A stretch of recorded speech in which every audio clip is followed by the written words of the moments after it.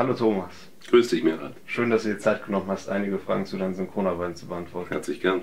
Ich würde sagen, wir starten direkt mit der ersten Frage. Wie wurdest du Synchronschauspieler? Ähm, mm, ich komme aus einer Schauspielerfamilie. Meine Mutter war Schauspielerin und äh, war äh, dann lange Zeit nicht tätig, um mich großzuziehen. Äh, hat dann wieder Theater gespielt und mein Vater war eben schon äh, etabliert in Berlin als ähm, ja, die, die, Stimme Berlins, so ein bisschen für die Berliner als Nachrichtensprecher von Rias Berlin. Äh, und er hat eben auch sehr viel synchronisiert und hat mich da auch schon mit fünf Jahren, war ich glaube ich, 1962 oder so, war ich glaube ich schon mal in einem Synchronstudio und habe mir das angesehen.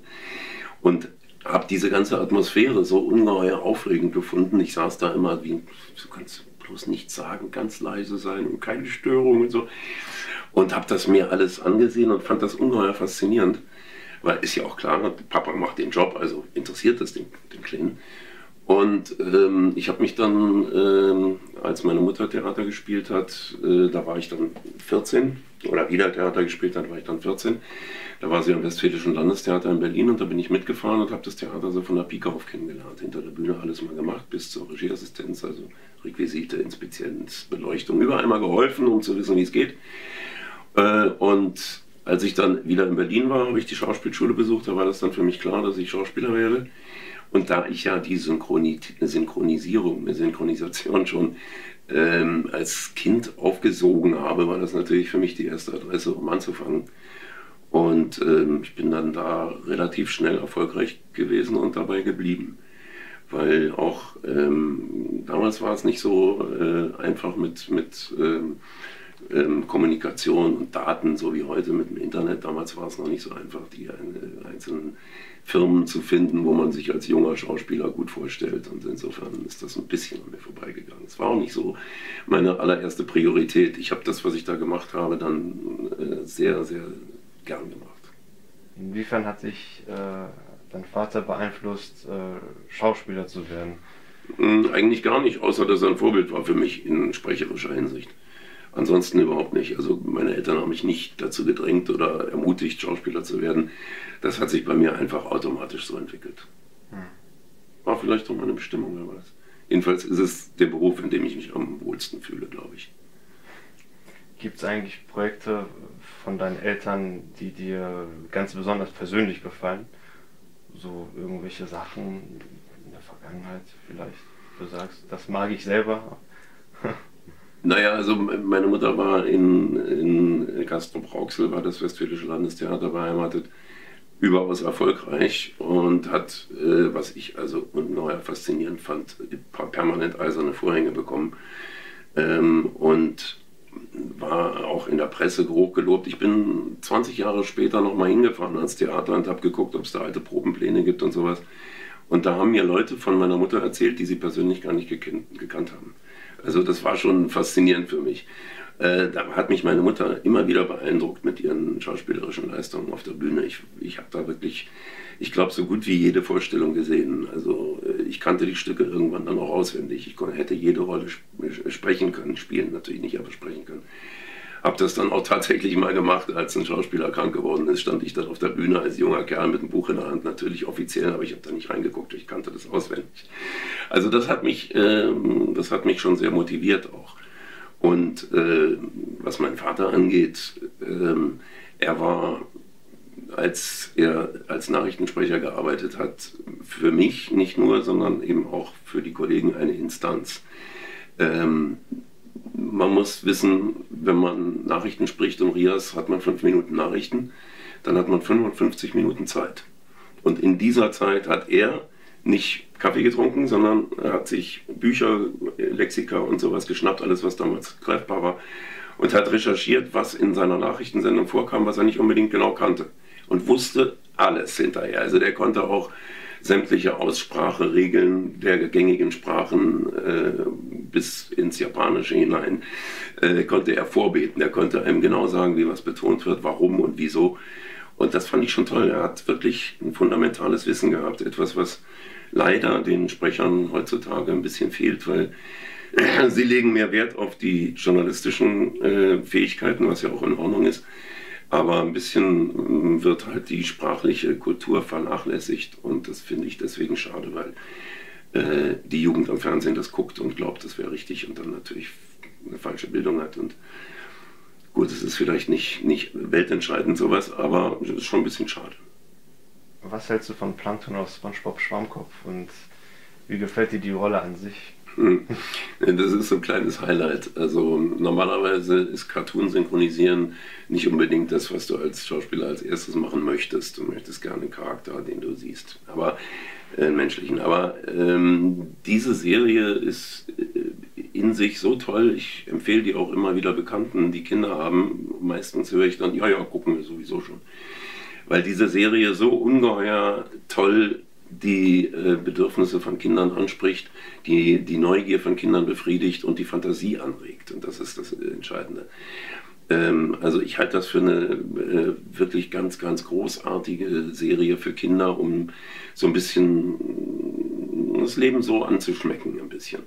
Weil es auch ungeheuer witzig ist und mit ungeheuer tollen Einfällen dass die da in einer Schachtel sitzen und sagen, es wäre die Fantasie, die, die Reiseschachtel oder so ähnlich. Und dann, dann hören sie plötzlich, als sie merken, ah, Fantasie ist es, hören sie plötzlich auch die, all die Geräusche und wir hören die mit und dann verstehen wir, ah, Fantasie ist es, worum es geht. Und das haben die so anschaulich und so süß gemacht, dass eben auch die, die Rolle des Plankton, der ja der Bösewicht ist, was ähm, äh, so durchgängig eigentlich immer so meine Richtung gewesen ist, die Bösen zu sprechen, was auch viel mehr Spaß macht als die Braven. Äh, der ist natürlich ein ganz, ganz tolles äh, Vieh, was ungeheuer viel Spaß macht. Ich war gerade letzte Woche wieder im Studio für neue Aufnahmen und es ist eben auch faszinierend, dass das schon seit zwölf Jahren, glaube ich, läuft äh, und sie immer noch neue Einfälle haben und immer noch äh, was Tolles kommt. Also ich bin von der Rolle wirklich begeistert und es ist immer wieder, äh, wenn ich ins Studio gehe, ich freue mich regelrecht darauf, diese Rolle dann zu machen.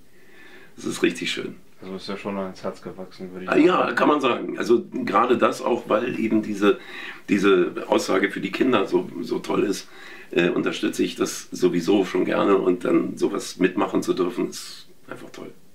Was gefällt dir am meisten, wenn du Thomas F. Wilson in Zurück in die Zukunft sprichst, also in der Trilogie? Was sehr viel Spaß gemacht hat, war einmal, dass es alles ein bisschen überzeichnet ist, dass es alles, dass man merkt, es ist nicht ernst, man merkt es einfach, man weiß es, ohne dass man nachdenken muss, es ist einfach Spaß. Äh, und ähm, was für mich faszinierend war, war Biff in dem zweiten Teil in zwei, beziehungsweise insgesamt in drei Altersstufen zu sprechen. Das war toll. Wir haben da sogar getrennt aufgenommen. Das heißt, an einem Tag habe hab ich den jungen Biff gesprochen und am anderen Tag den alten, damit wir da nicht in irgendwelche Schwulitäten kommen. Und das hat ganz viel Spaß gemacht. Das ist so eine Rolle wie Leon der Profi, äh, wo ich Gary Oldman gesprochen habe, die mir wirklich ans Herz gewachsen ist. Also das sind so die Highlights schon. Ja. Das wäre dann meine nächste Frage dann. Was hat dir denn am meisten gefallen, als du Gary Oldman gesprochen hast, die paar Male, besonders bei Leon der Profi? Was mir besonders Spaß gemacht hat, da war die Arbeit selber. Ähm, der Kollege Michael Richter hat damals die Regie geführt und hat mir äh, sehr viel Zeit und Gelegenheit gegeben, die Dinge zu proben. Wir haben also wirklich mit vielen Proben erst gearbeitet, bevor wir aufgenommen haben. Ähm, was wichtig war an den Stellen, äh, wo er ein bisschen hektisch ist und ein bisschen schnappelt und so und es muss genau treffen und genau sitzen und es muss gleichzeitig auch noch das Gefühl haben. Also das war eine Herausforderung, äh, die, die mir ungeheuer viel Spaß gemacht hat. Da bin ich wirklich am Abend schweißnass aus dem Studio gegangen und dachte, boah, jetzt muss ich mich erstmal hinlegen. Aber wenn ich mir das Ergebnis so ansehe, glaube ich, kann ich damit gut leben. Es ist wirklich, äh, ich habe das Glück gehabt, ein paar Rollen in, in, äh, sprechen zu dürfen, die mir die Möglichkeit gegeben haben zu spielen äh, und, und wirklich meinen Beruf tief vom Innern her auszuüben. Und dafür bin ich überaus dankbar. Warum sprichst du nicht mehr mit dem Gary? Ja, das hat sich dadurch entwickelt, dass ich eine äh, äh Krankheit mir eingehandelt habe durch einen Zahnarztfehler ähm, bin ich Trigeminus-Schmerzpatient gewesen über zehn Jahre. Das ist eine ganz furchtbare Sache. Ähm, das sind Schmerzen, die einen wirklich töten können. Und in der Zeit war ich natürlich nicht mehr so in der Lage zu arbeiten, ähm, weil ich eben auch während der Arbeit Schmerzanfälle bekommen habe und dann eine halbe, dreiviertel Stunde fürs Studio das Ganze stand, stillstand. Das ist natürlich alles nicht mehr ähm, arbeitstauglich dann. Und deswegen hat sich einfach so ergeben, dass andere Leute meinen Platz eingenommen haben. Aber ich bin da nicht böse drum. Das ist völlig okay, die machen das auch gut. Das ist eine faire und sportliche Ansicht. Ja, und wir sind doch alles Kollegen. Das ist doch, wir, wir hacken ja nicht, wir sind ja nicht die Krähen, die sich gegenseitig ein Auge aushacken, sondern hm. also ich gehe eher zu einem Kollegen hin und sage, Mensch, ich habe neulich dann eine Rolle gesehen von dir im Fernsehen, super toll gemacht, weil es mir gefallen hat.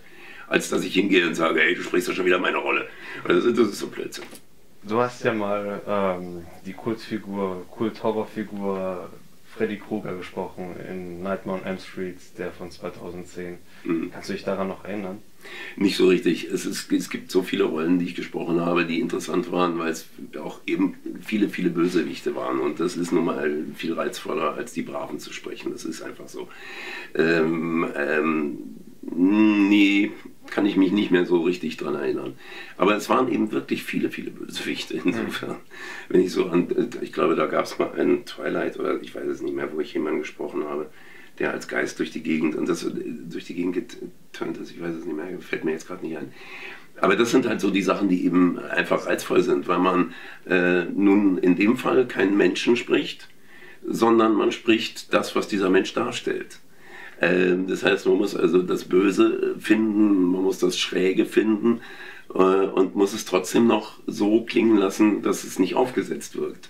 Und diese Balance, dieser Balanceakt macht einfach ungeheuer viel Spaß, weil das ist die Arbeit, die, die einen fordert, dass man immer wieder so austariert, wie weit kann ich gehen, ein bisschen zurücknehmen, ein bisschen vorwärts, ein bisschen so. Und äh, das sind, sind faszinierende Sachen, aber die bleiben einem auch nicht immer im Kopf. Wenn ich das alles im Kopf hätte, dann ich glaube, müsste ich so einen Schädel haben. So viel haben wir, haben wir da schon gemacht. Das ist zu viel. Da komme ich zu einem guten Brückenschlag. Ähm, wie fandest du denn die Rolle von Larchat aus Die unendliche Geschichte 3? Das ist ja eine Rolle, wo man dich auch gesehen hat. Und ja. auch sprechen gehört hat, auch in der deutschen Fassung, meine ich. Ja, ich habe es auch synchronisiert dann, ja. Genau. Das hat sehr viel Spaß gemacht. Da habe ich eine, eine Maske bekommen, äh, die äh, jeden Morgen sechs Stunden gedauert hat, äh, vier Stunden gedauert hat, sie anzulegen ähm, mit, mit, mit einem Riesenkopf oben drauf. Und dann durfte ich mich nirgendwo irgendwie hinsetzen, wo es gefährlich werden konnte für die Maske, weil sonst der Drehtag gestorben wäre. Das hat einfach. Ich bin, konnte, konnte dazu zweimal nach London fahren, um diese Maske anzupassen und habe da Hanson's Creature Shop kennengelernt. Und ähm, weil die haben die Masken gemacht. Und ähm, Gary Pollard möchte ich hier mal lobend erwähnen, einer, ganz, einer der ganz tollen Maskenbildner, der hat meine Maske gemacht. Ähm, und ähm, habe den da kennengelernt in London, habe mich da umsehen können, fand das faszinierend. Da saßen die äh, alle an irgendwelchen kleinen, in einem riesengroßen Saal an kleinen Tischen mit, mit, Werkzeug und Lupe und allem drum und dran und fummelten an kleinen Figürchen und Dingern rum. Und im Hintergrund lief Punkmusik und alle sahen aus wie Punks. Also das war irgendwie schon eine geile Atmosphäre. Und mal zu sehen, wo diese wahnsinnig tollen Masken hergestellt werden. Hanson's Creature Shop ist ja nun die Marke dafür. Das war schon faszinierend. Und die Dreharbeiten waren natürlich auch toll. Das Einzige war ein bisschen unangenehm. In der Mittagspause musste ich im, im, im Trailer essen, weil ich mich nicht irgendwohin bewegen durfte, wo die Maske gefährdet war. Das war schon, war schon anstrengend. Aber es war eben eine tolle Arbeit, weil, weil es eine Hollywood-Produktion war, bei der man einfach merkt, die wissen, wie es geht. Und das macht viel, viel Spaß. Also ist das auch so eine Erfahrung, die dir auch langfristig in Erinnerung bleibt und positiv? Das in jedem Fall natürlich, klar. Also es gibt auch noch andere Sachen, die mir langfristig in Erinnerung bleiben, auch Sachen, die vielleicht nicht so bedeutend sind. Es kommt immer darauf an, dass es einen gewissen Kick hat, dass einem was im, im Kopf bleibt. Und da habe ich halt ein paar Sachen, die mir wirklich sehr viel Freude gemacht haben. Das stimmt schon, ja. Kannst du dich noch an die Rolle von Garlic Jr. aus Dragon Ball Z erinnern? Schon sehr alt. Ja, ja, das, ja, ja, so ein bisschen. Aber das sind eben, das sind, das sind eben alles so Sachen, die kommen und die machen Spaß und die macht man. Aber äh, es ist nicht so, dass mir da immer ungeheuer viele Sachen in Erinnerung bleiben. Das, ja, das stimmt. Das darf auch nicht sein. Das wäre auch Blödsinn. Also glaube ich nicht. Ist nicht nötig. Hauptsache, es macht Spaß, ja, das zu machen. Und hinterher äh, gucken die Leute es gern und haben Spaß dabei, das anzusehen. Das ist der Punkt, um den es geht letztendlich. Also ich bin jetzt auch in einem Alter, wo es nicht mehr darum geht, äh, überall dabei zu sein, sondern vielleicht eher äh, das Gelernte, das Erlebte Revue passieren lassen und sehen, was kann man damit für die Zukunft hinterlassen. in irgendeiner Form, vielleicht jungen Leuten Starthilfe geben äh, oder eben für Tiere was machen oder andere sozial engagierte Geschichten, die, die von, von jüngeren Leuten naturgemäß missachtet werden, weil sie eben nur mal ihr eigenes Leben haben. Ich habe jetzt ein bisschen mehr Zeit für sowas und freue mich da sehr drüber. Wie siehst du den Stand der deutschen Synchronbranche? Kritisch. Es ist so, dass die, dass die äh, Synchronfirmen sich über die Jahre es etwas aus der Hand haben nehmen lassen, wie ein Film synchronisiert wird. Das heißt, heutzutage wird entschieden, wer das Buch macht, dann wird das Buch noch redigiert. Ähm, der Regisseur wird ausgesucht, die Besetzung wird ausgesucht, aber alles nicht mehr von der Firma, sondern von den Supervisern und den Auftraggebern. Das hat sich dadurch entwickelt, dass es sehr schwierig ist für Synchron Leute auszubilden, weil es dafür keine spezielle Schule gab in den 80er, 90er Jahren. 90er Jahren. Und ähm, es sind halt Leute nachgewachsen, die sich aus den Reihen der Sprecher rekrutiert haben, auch für Buch und Regie. Und da ist nicht jeder begabt genug gewesen. Ähm, und deswegen haben, glaube ich, auch ähm, die Auftraggeber gesagt, wir wollen das mal lieber selbst in die Hand nehmen. Was ein bisschen schade ist, wenn ich so an die 70er, 80er denke, da hat die Firma entschieden, wer das Buch macht, wie das Ganze funktioniert. Da gab es auch niemanden, der den Text großartig redigiert hat. Es wurde mal eingeschaut, ob das in Ordnung ist, aber eigentlich hat man den Leuten vertraut, die das, ähm, die das können. Und äh, das war eben auch so, dass damals äh, die Leute, die ein Buch geschrieben haben, Dramaturgen vom Theater waren, die Regisseure waren, Regisseure waren Theaterregisseure und die meisten Schauspieler im Studio haben abends auf der Bühne gestanden. Das ist heute nicht mehr der Fall. Das ist sehr getrennt vom eigentlichen Schauspielerberuf. Es ist eine eigenständige Branche gewesen, in der man es lange Zeit versäumt hat, äh, Nachwuchs auszubilden. Und aus dem Grund gibt es auch äh, heute so viele Synchronisationen, bei denen man sage ich mal ganz offen, die Hände über den Kopf zusammenschlägt und sich fragt, wer das dann gemacht hat. Äh, weil es ein bisschen lieblos ist, teilweise auch ähm, nicht deutsch, ähm, von Synchronität ganz zu schweigen. Und das ist schon schade, dass das ein bisschen ähm, ja, vernachlässigt worden ist.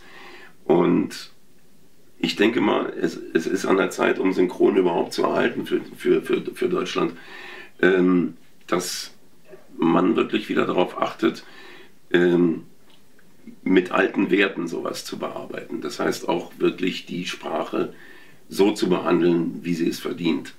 Und das bedeutet eben genau die richtigen Formulierungen zu verwenden. Es sollte synchron aussehen nach Möglichkeit. Ist aber nicht wichtig, weil der Satz, der richtig ist, ist besser als der Satz, der gut aussieht. Ähm, Im Deutschen ist, ist es einfach, äh, läuft das durch wenn man, wenn man, wenn man im Deutschen einen Haker hat, dann kann es noch so schön aussehen, man kommt raus. Das ist einfach nicht, nicht gut. Ich denke mal, das wird sich mit, der, mit den nächsten Jahren ein bisschen ändern alles, weil jetzt sich das auch eingegroovt hat. Äh, viele Sachen sind produziert, ein gewisses Tempo an Arbeit ist erreicht und ähm, man groovt sich vielleicht jetzt ein bisschen so ein, dass man sagt, okay, jetzt wollen wir mal ein bisschen mehr auf die Dinge achten, die noch wichtiger sind. Terminierung und all dieses und schnell, schnell haben wir hinter uns, jetzt machen wir es mal wieder ein bisschen anders. Ich warte drauf, ich hoffe, dass es kommt. Wer sind deine Vorbilder? Die haben sich über die Jahre geändert. Also äh, früher waren es berufliche Vorbilder, ähm, dazu gehört aber auch schon meine Mutter, weil das für mich, die war sowas von begnadet und ich, ich habe da so fasziniert so gesehen. Das war ein Vorbild für mich in beruflicher Hinsicht. Heute sind meine Vorbilder eher in soziopolitischer Hinsicht. Also Dalai Lama zum Beispiel ist für mich jemand, der ein Vorbild ist. Ähm, ich glaube, sonst habe ich keine Vorbilder mehr. Ich habe mich mittlerweile dazu entwickelt, dass ich versucht habe, dass ich, dass ich glaube, meine Vorbilder erreicht zu haben, in dem Sinn, dass ich, dass ich von ihnen jetzt nichts mehr lernen kann. Ob ich es umsetzen kann oder nicht, ist meine Sache. Aber äh, ich versuche mich jetzt an dem zu orientieren, was ich übers Leben gelernt habe. Hast du einen Lieblingsfilm? Ich habe viele Lieblingsfilme. zum Beispiel Die wunderbare Welt der Amelie zum Beispiel. Also diese Fantasiefilme, die mit viel Liebe und, und, und ähm, Blick fürs Detail gemacht sind wo man merkt, da hat jemand was auf dem Herzen gehabt. Und da muss ich jetzt, glaube ich, keine Filmtitel nennen. Es sind all diese Filme, bei denen man fünf Minuten zuguckt und sagt, ach, das ist aber schön. Ohne zu wissen, warum. Und weiterguckt. Das sind meine Lieblingsfilme. Hast du auch einen Lieblingsfilm, den du synchronisiert hast oder eine Lieblingsserie? Meine erste Serie war natürlich äh, so ein bisschen mein Highlight. Das war Trio mit vier Fäusten.